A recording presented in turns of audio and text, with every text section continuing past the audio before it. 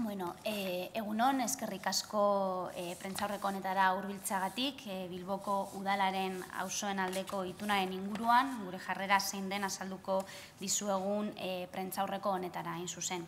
Udalberri biloain komun udaltaldetik, jakinarazi nahi dizuegu, ez dugula itun hori sinatuko. Gure ustez, balizko itun hau ez da landu bere auzoak ondo ezagutzen eta bertan lan egiten duten auzotarrekin. Auzo elkarteetan antolatuta dauden hiritarrekin hain zuzen.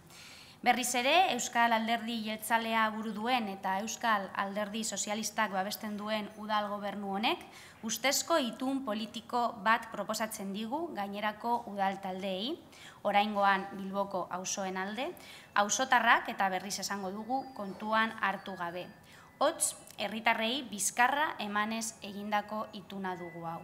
Gauza ez da Bilbok biadura izatea, baizik eta aurkako noranzkoetan doala.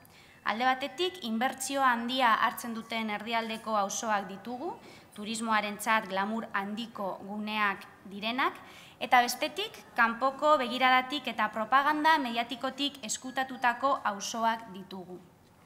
Nola azaldu daiteke orduan, gure hiri saritu honetan, auzoen arteko izugarrizko aldeak egotea bizi itxaropenari dagokionez.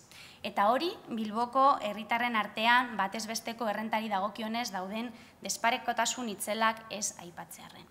Gauzak horrela, alkatetzak proposatutako itunari ematen diogun erantzuna argia da. Ez, eskerrik asko. Bilboko auzo elkarteen federazioaren hitz doia gureak eginez, ezetz esaten dugu, zeren eta aburto jaunak planteatzen duena zera baita, auzorik gabeko auzoen aldeko itun bat, besterik ez. Paradosikoa eta iraingarria ere bada, gure iriko auzoen aldeko itun bat proposatzea auzoak berak kontuan izan gabe.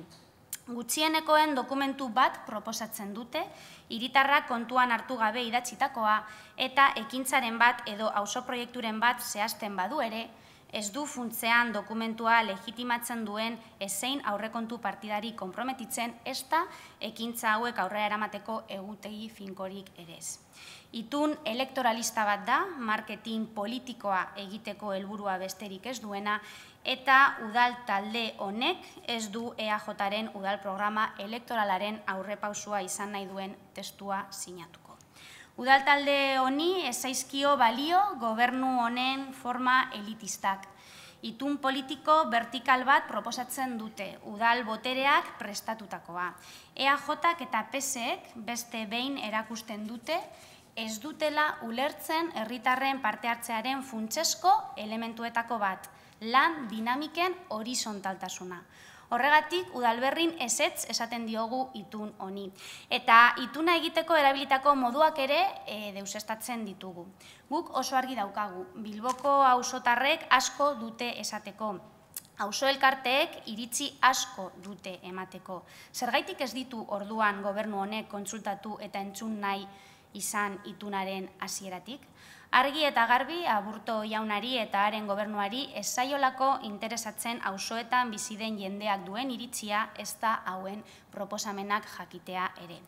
Udal gobernu honek bere jarrera aldatzea espero dugu eta dagozkion erantzunkizunak bere gain hartzea ere. Horretarako zer gutxiago entzuten astea baino.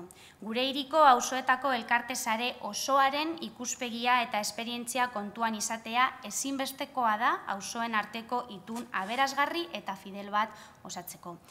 Bien bitartean, udalberri biloain komun udaltaldetik, borrokan jarraituko dugu, lanean jarraituko dugu, eskubide guztien alde, pertsona guztientzat eta auzo guztietan.